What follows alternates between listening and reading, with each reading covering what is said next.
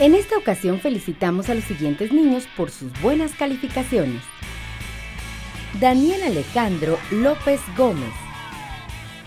Claudia Citlali López Figueroa. Andrea Sofía Solís Jiménez. Eric Plasencia Rodríguez. Sandra Carolina Plasencia Rosas.